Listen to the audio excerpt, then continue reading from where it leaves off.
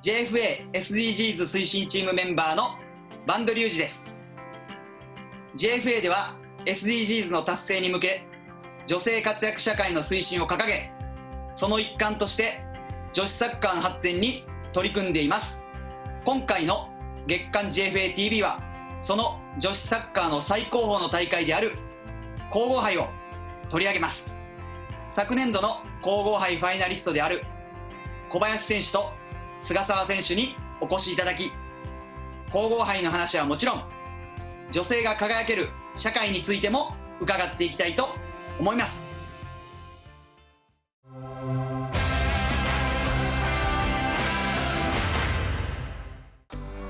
女子サッカーの日本一を決める大会。それが皇后杯 JFA 全日本女子サッカー選手権大会。42回目となる今年はなでしこリーグ1部10チームなでしこリーグ2部10チームそして地域代表28チームの計48チームが出場しノックアウト方式で行われる。大会は来月11月の28日29日の1回戦からスタート。決勝は12月29日京都府にあるサンガスタジアム by 京セラで行われる。前回大会は大会2連覇中の日テレベレーザと5年ぶりの決勝に勝ち上がってきた浦和レッズレディースが対戦。先制したのは日テレベレーザ。前半7分右コーナーキックから田中選手がダイレクトで合わせクロスバーに当たりながらも豪快にゴールネットを揺らす。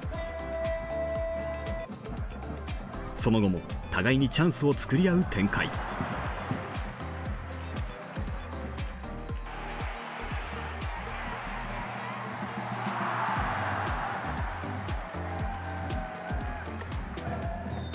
試合は1対0のまま日テレベレーザが逃げ切り3年連続14回目の優勝を飾った。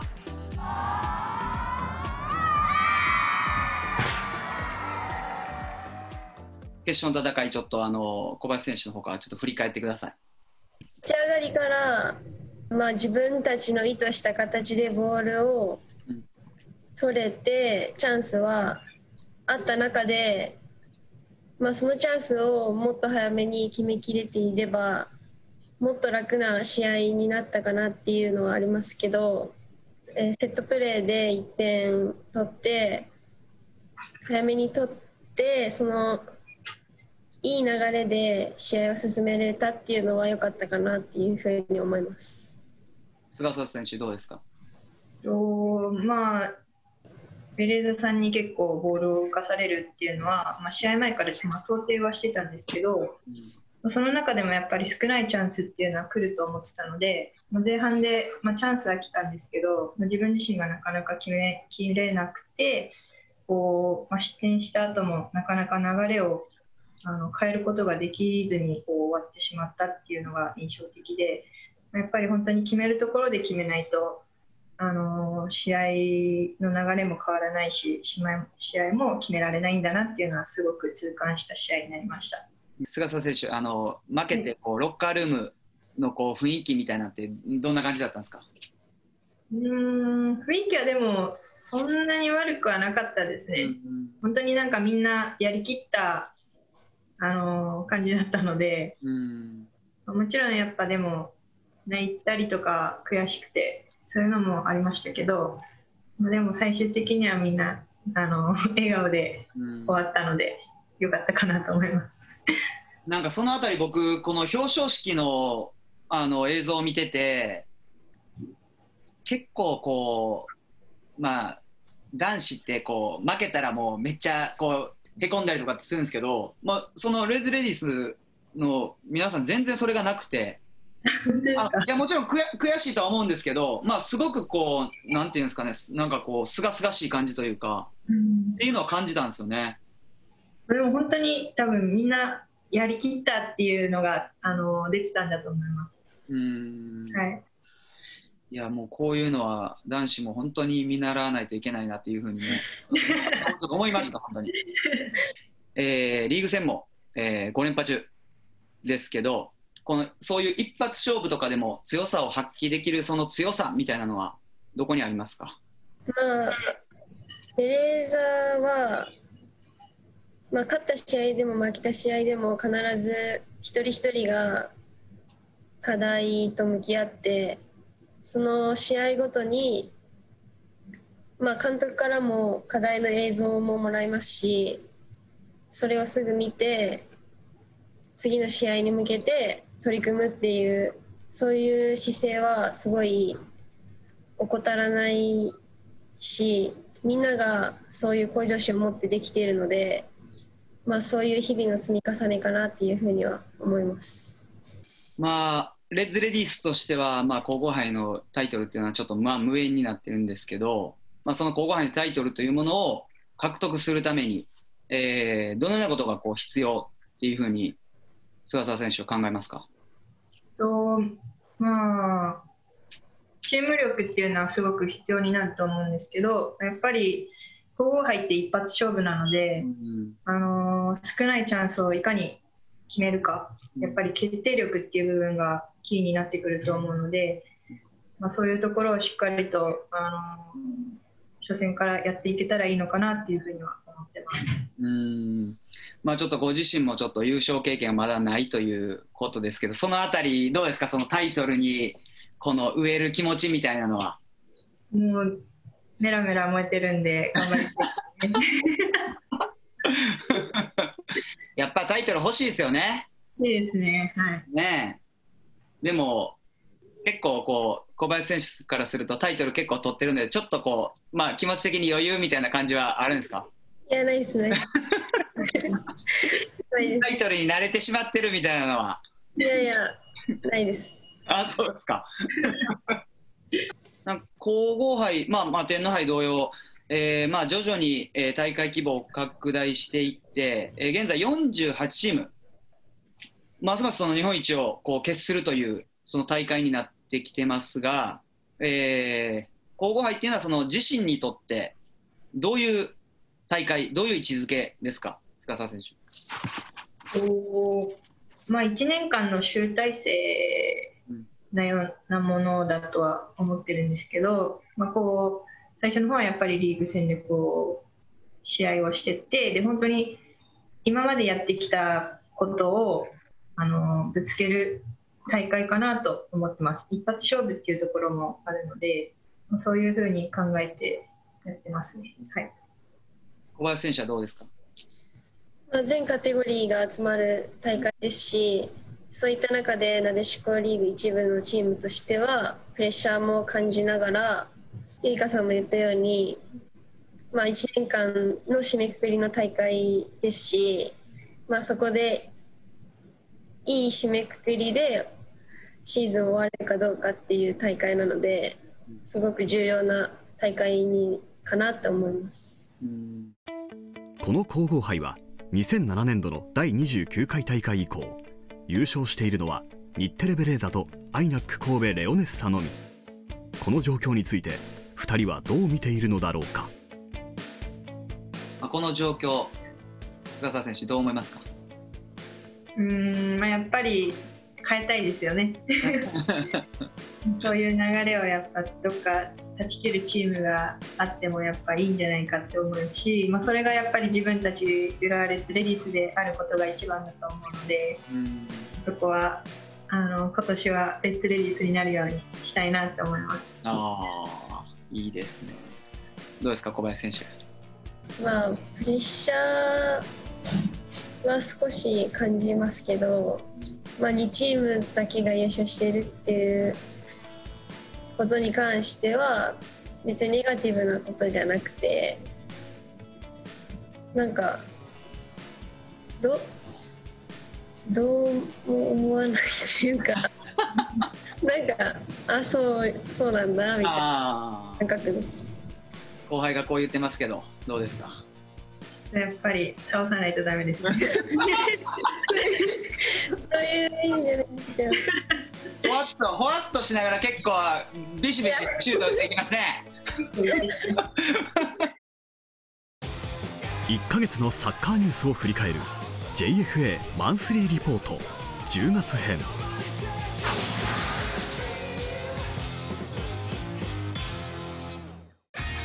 9月21日と22日に行われた 2020SBS カップドリームユースサッカーに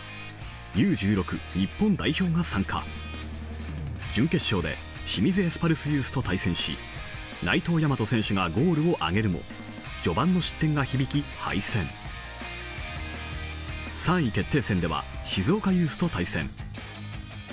2点のリードを許す中内藤選手が2試合連続ゴールも追いつくことができず U16 日本代表は2連敗大会は清水エスパルスユースが優勝した。ビーチサッカー日本代表はモレイラオス監督就任後初となるトレーニングキャンプを9月28日から6日間都内で行った。その中でこれまで長く代表チームに招集されている選手もおそらく初めてという1日3回のトレーニングを行うなど自らの考えを積極的に発信したモレイラ監督。選手兼任監督としてまずは来年3月に予定される AFC ビーチサッカー選手権タイ2021で優勝を狙う。10月3日4日には高円宮杯 JFAU18 サッカープレミアリーグ2020関東の第4節が行われた。第3節を終えて暫定首位に立つ横浜 FC ユースは横浜 F・ マリノスユースと対戦。プレミアリーグ初の横浜ダービーとなったが前半6分河村選手に先制ゴールを許してしまう。それでも後半41分。背番号10中川選手の PK で同点に追いつく。その2分後横浜 FC は右サイドからのロングボールに反応した中川選手。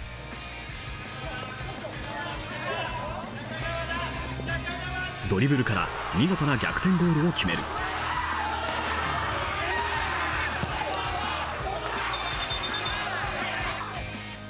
しかしさらにその2分後諦めない F・ マリノスは角田選手のミドルシュートが決まり土壇場で同点。史上初の横浜ダービーは引き分けに終わった。ここまで無敗の FC 東京 U18 は後半13分。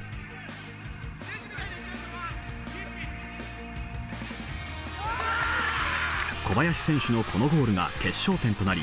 無敗をキープした。第4節暫定で FC 東京 U18 が首位。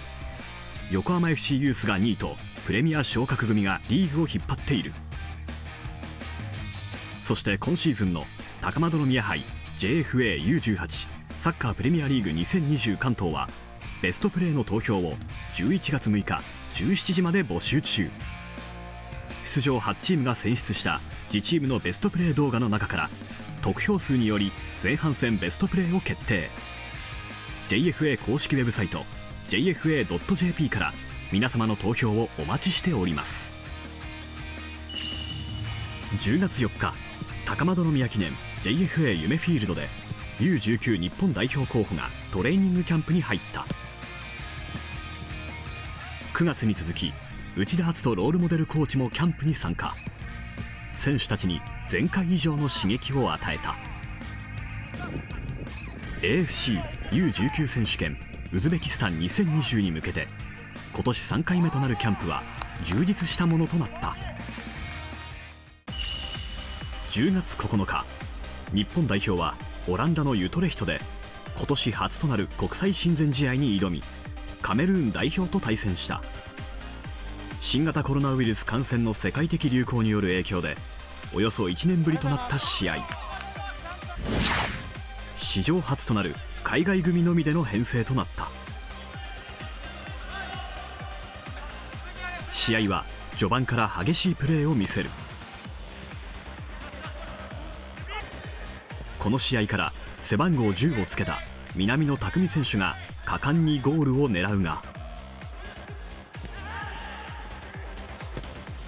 得点には至らない。身体能力の高いアフリカの選手を相手に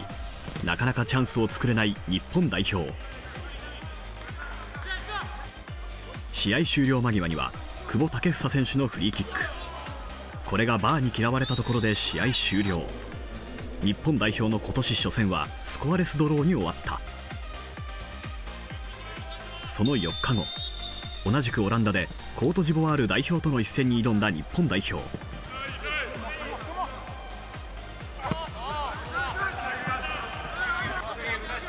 久しぶりの代表戦ということもあり選手同士がコミュニケーションをよくとって試合を進めていく。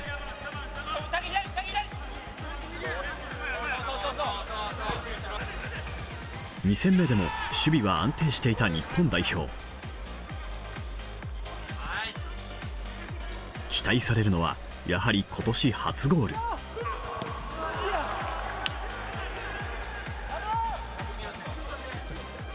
鮮やかな連携からゴールを狙う。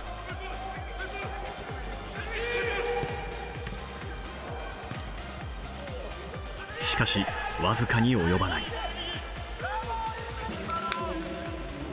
88分に上田直道選手を投入するとこの采配が的中する。アディショナルタイム。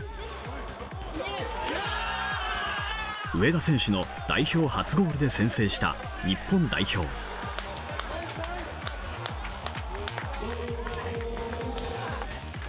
コートジボワール代表を破り今年初勝利を挙げた。10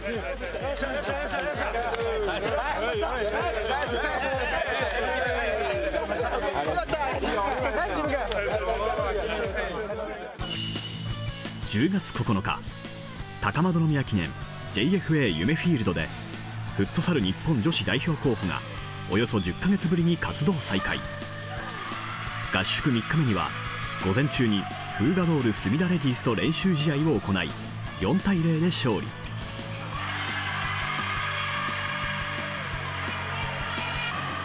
午後にはバルドラール・浦安ラスボニータスと戦いこちらは3対0と快勝。延期となった AFC 女子フットサル選手権を見立てた試合をこなした小暮健一郎監督は。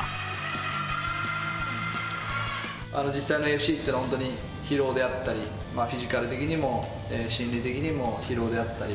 そういう中の最後の決勝戦で、ね、やっぱり勝ちきるっていうものを、まあ、この国内で、えー、経験してですねなおかつそれに打ち勝つというところが、まあ、テーマだったのであのそういう意味で本当に選手がそこにコミットしてくれてですね、えーまあ、午前中も午後もあのしっかりあの勝つことがあのできたので、まあ、本当に選手スタッフにあの、まあ、感謝という本当によく頑張ってくれたなというふうにあの思ってますのであのキャンプとしては本当に非常にいいものがあのできたと思ってます。10月12日には U19 フットサル日本代表候補が小暮健一郎新監督のもと初のトレーニングキャンプ。来年以降への開催延期が決定している第3回 AFCU20 フットサル選手権東地区予選に向けて動き出した。まあ、アンダー20という AFC の大会を見越してですねあのやっと立ち上げすることができてあの非常にあの嬉しく思ってますし、えーまあ、いろいろな側面に注意をしながら、えー、いい活動を、えー、したいなと。思っております、まあ、日の丸を着て戦う、えー、重みですとかね、えー、A 代表を目指す、まあ、そういった精神的な部分とかですね。そういったところの土台作りというのにもしっかりと時間を割いていい立ち上げを、えー、行いたいなというふうに思ってます。来年秋には、えー、女子のプロリーグ WE リーグが、まあ、開幕します。こうその新リーグにその対するこう、まあ、期待であったり意気込みであったりっていうのを、まあ、聞かせてほしいなと思いますが深澤選手どうですか？WE リーグに対して。まあ、秋から始まるっていうことでその海外のそのリーグだったりとかとこう多分時期を合わせてたりもすると思うので、まあ、海外の選手が日本に来たりだとか、まあ、逆に日本でプレーしている選手が海外に行ったりできるような環境にはなると思うので、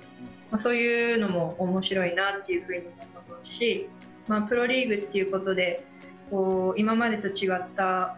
やり方だったりとかがあるのかもしれないので、まあ、そういったところはすごく楽しみだなっていうふうには思ってます。小林選手どうですか？プロかっていうことに関しては選手としてももちろん女子サッカーとしてもすごい、まあ、前向きなことだと思いますしでもやっぱりたくさんの方に注目してもらうために私たち選手は、まあ、結果が一番重要になってくると思いますしそれはまあそれぞれのチームも含めて代表活動でも結果を残さないと、まあ、見てもらう機会っていうのはないと思うので、まあ、まずは注目してもらえるような結果を残したいなっていうふうに思います。いい回答ですね。まあその JFA であったりとか、あの WE リーグっていうのは、まあ、女性活躍、まあ、社会を推進してるんですが、えーまあ女子サッカーはもちろんですけど、えー女性が、えー輝ける、まあ、社会についてっていうのを考え、えー菅澤選手教えてください。うーんまあ今はそのやっぱり選手としてこうやってるので、あのまあ、何かしらこう小さい子どもたちに女子サッカー選手になりたいっていう夢だったりとかっていうのをこう思ってもらえるようなことができればいいかなっていうふうには思ってますね。はいなんかまあ小さい子供たちが本当にこう目標とできるところみたいなのがねこうあるっていうのは素晴らしいことですよね。そうですね、あのまあ、それこそ本当に WE リーグになった時にやっぱり、あの今までなでしこリーガーって仕事をしながらするのが当たり前っていう感じだったんですけど、まあ、サッカーだけやや